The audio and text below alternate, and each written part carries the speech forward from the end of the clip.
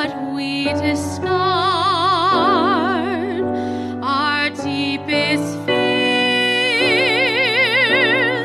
can't be woken, but our love.